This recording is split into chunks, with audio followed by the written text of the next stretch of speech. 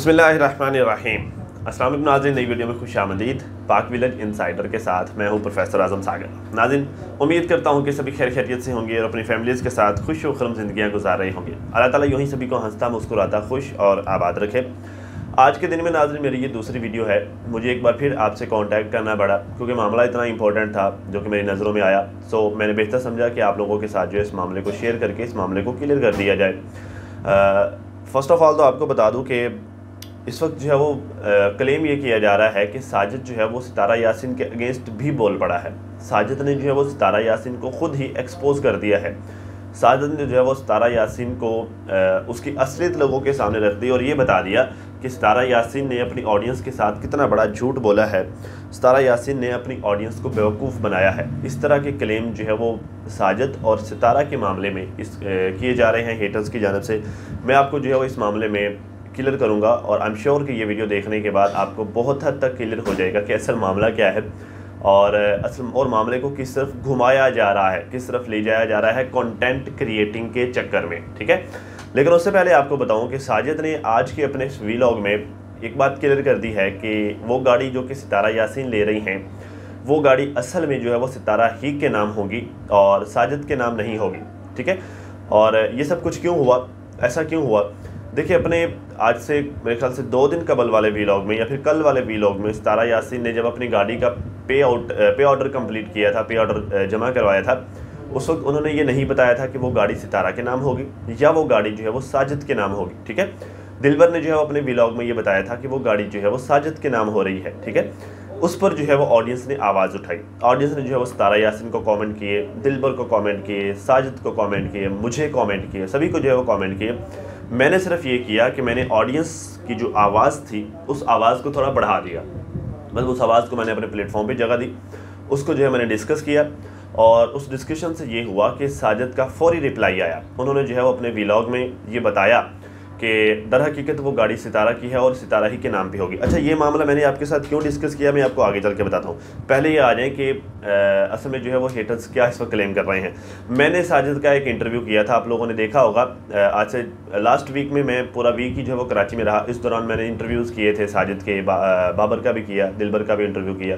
अच्छा उन दोनों पर भी जो है कुछ प्रोपोगंडे किए जा रहे हैं, वो भी मैं आपके साथ शेयर करूँगा, लेकिन पहले साजिद की बात करते हैं। अच्छा उसमें से जो है वो जो सवालत मैंने साजिद से किए थे उन्हीं सवालत और साजिद के जवाब को लेकर जो है वो एक साजिश की जा रही है। मतलब जो मैंने सवाल किए और साजिद के जवाब को एक रॉन्ग वे में मैनुपलेट करके लोगों को बहकाया जा रहा है कि देखो साजिद जो है वो सितारा के अगेंस्ट ही बोल पड़ा है। देखिए साजिद ने जो है वो सितारा को एक्सपोज कर दिया है। कैसे? मैं आपको बताता हूँ। वो कहते हैं जी साजिद ने अपने इंटरव्यू में ये खोल कर रख दिया है कि सितारा ने अपने व्यूवर्स के साथ कितना बड़ा झूठ बोला है। अब जो है वो इसमें क्या साजिद सितारा ने अपने हेटर्स के साथ, अपने ऑडियंस के साथ झूठ बोला है। सितारा ने अपनी ऑडियंस के साथ ये झूठ बोला है कि अब वो झूठ ये था कि सितारा जो है वो प्लान कर रही थी। सितारा ने एक मंसूबा बनाया था कि वो इस बात को कंटेंट बनाएगी कि साजिद जो है वो कराची आ रहा है या नहीं आ रहा। साजिद कराची क्यों नहीं आ रहा? इस बात को जो है वो साजिद ने, सितारा ने इस बात को कंटेंट बनाया है। मैं आपको बताऊँ कि सितारा ने इस बात को कंटेंट नहीं बनाया। ये एक नॉर्मल वे में हुआ और जिस तरह से होता आ रहा था, ये उसी तरह से हुआ। देखिए, सबसे पहले देखिए, इस चीज़ों को तरतीब से समझने की ज़रूरत है। सबसे पहले साजिद ने एक वीलॉग बनाया। साजिद ने जो है वो एक एक अपने एक वीलॉग में ये बात बताई कि वो जो है, चूँकि वो यहाँ पर बहुत मसरूफ़ हैं, उन्होंने सिर्फ़ ये बताया था कि वो अपने थंबनेल के ऊपर ये लिखा था कि यहाँ पर काम का प्रेशर बहुत ज़्यादा है, मैं कराची नहीं जा पाऊँगा, ठीक है? उन्होंने नॉर्मली ये बात डिस्कस की क्योंकि सारे लोग उनसे जो है ये एक्सपेक्ट कर रहे थे, वो कराची जाएँगे अपने बच्चों को रिसीव करने के लिए, सितारा को रिसीव करने के लिए वो कराची जाएँगे।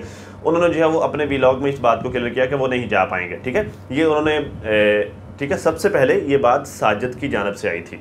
जब साजिद ने ये बात की कि वो कराची नहीं जा रहे तो उस बात से जो है वो एक, आप यूँ कहें कि एक थरथली सी मच गई उनके सब्सक्राइबर्स में, उनकी फ़ैन फॉलोइंग में, सितारा की फॉलोइंग में, कि चूँकि सितारा यासिन जो है वो पाकिस्तान फ़र्स्ट टाइम आ रही है और बच्चे जो है वो अपने बाप को देखना चाहते हैं, सितारा के लिए भी ये खुशी का बाप होगा जो है ये होगी, खुशी की बात होगी कि उनका शहर उनके वेलकम के लिए जो है एयरपोर्ट पर मौजूद है।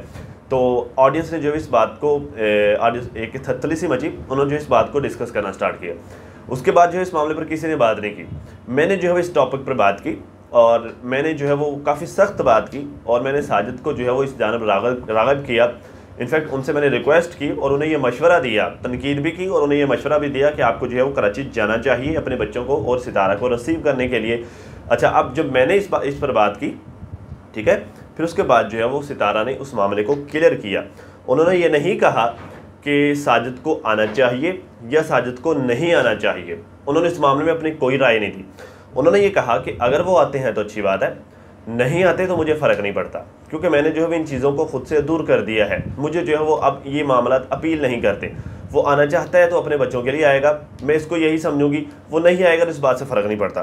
देखिए, अगर उसने ये सारा कुछ प्लान किया होता, अगर उसने ये सारा मनसूबा बनाया होता तो वो उसको जो है वो एक अलग तरीके से पोर्ट्रे करती। वो ये कहती कि चूँकि सारे इस बहती गंगा में हाथ धो रहे हैं, साजिद ने बात की प्रोफेसर भी बात कर रहा है इस मामले में तो मुझे भी बात करनी चाहिए, मुझे जो है वो इस मामले को उछालना चाहिए इमोशनली इस पर जो है वो सारे मामला करने चाहिए। उसने तो बात ख़त्म की थी, उसने कहा, आता आए, नहीं आता ना आए, ठीक है? तो ये ये एक झूठ नहीं था एक, ये कोई प्लान नहीं था।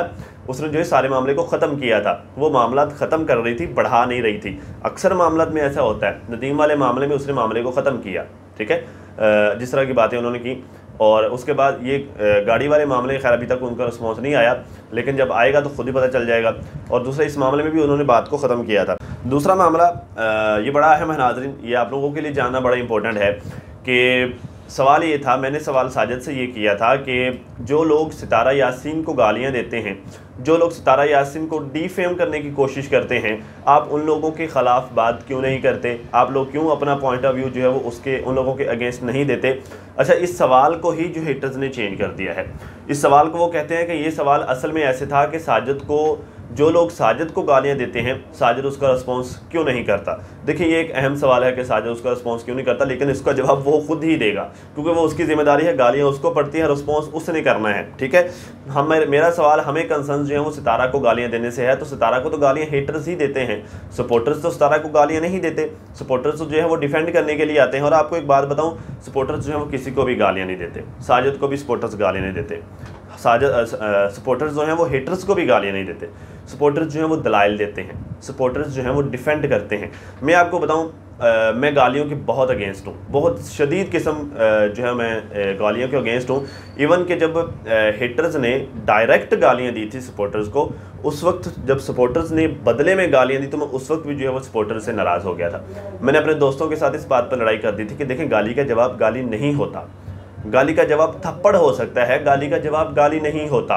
क्योंकि जब आप गाली देते हैं, आप अगले बंदे के लेवल पर गिर जाते हैं। जब आप गाली देते हैं, आप उस गंदगी से खुद को धो लेते हैं, जो गंदगी वो फेंक रहे होते हैं। आप उस गंदगी में धंस जाते हैं। तो गाली का जवाब कभी भी गाली नहीं होता। गाली का जवाब आप दलाइल दे सकते हैं, आप उसके अगेंस्ट एक्शन ले सकते हैं। इवन कि आप थप्पड़ भी मार सकते हैं तो गाली का जवाब थप्पड़ हो सकता है, गाली नहीं हो सकता। तो हम लोग गालियाँ देने वाले नहीं हैं। हम ना तो कभी साजिद को गालियाँ देते हैं। हाँ साजिद से हम जो रिक्वेस्ट करते हैं। देखिए, मैं आपको एक बात बताऊँ। साजिद को गालियाँ देना जो है वो बेहतर ऑप्शन नहीं है। वो क्यों?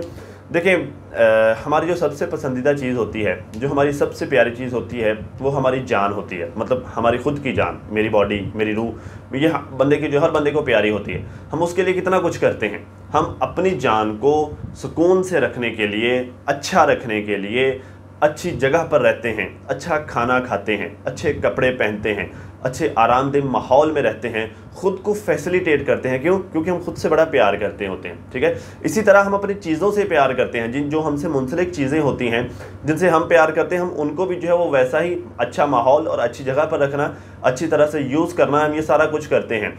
जो लोग सितारा यासिन से प्यार करते हैं ना उन लोगों का, उन लोगों की ये ख्वाहिश है कि वो सितारा को खुश देखें, वो सितारा को अच्छी जगह पर रखें, वो सितारा को अच्छे माहौल में रखें, ठीक है? और उस मकसद के लिए ज़हरी बात है, सितारा जो है वो साजिद के अकद में है, सितारा जो है वो साजिद के निकाह में है।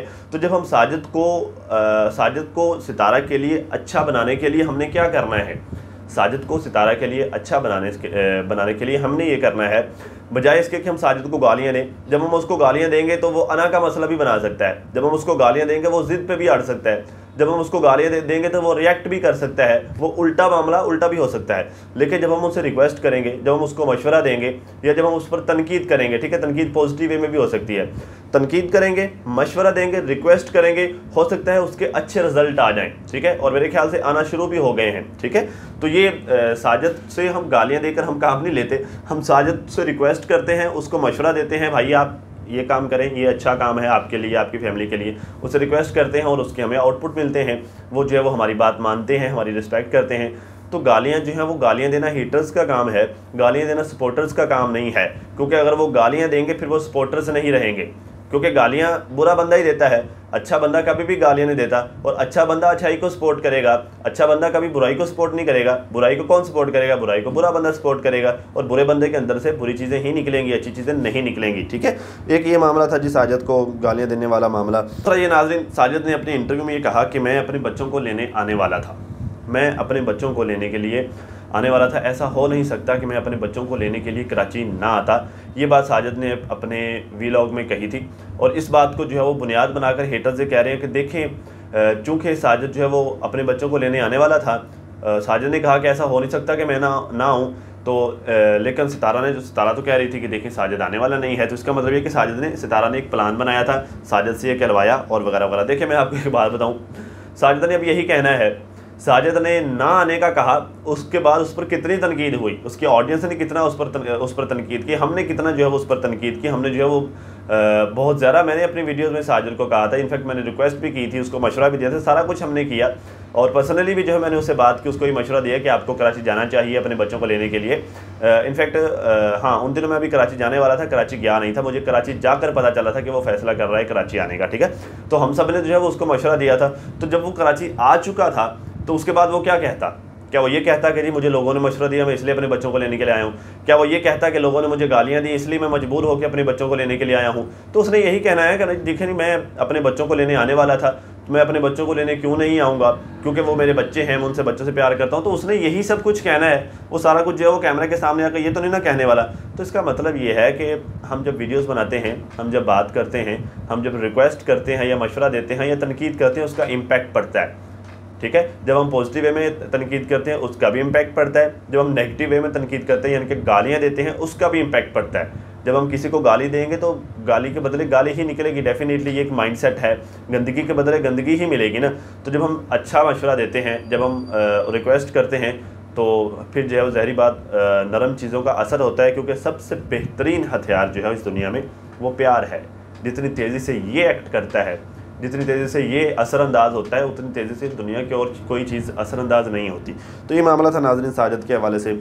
आई होप कि मैं बहुत बेहतर तरीके से आपको समझा पाया हूँ। ना भी समझा पाया हुआ तो आप जो है वो कमेंट कर सकते हैं, अपना फीडबैक दे सकते हैं। इंशाल्लाह मैं कोशिश करूँगा आपके सारे मामला को, सारे सवाल को क्लियर कर पाऊँ।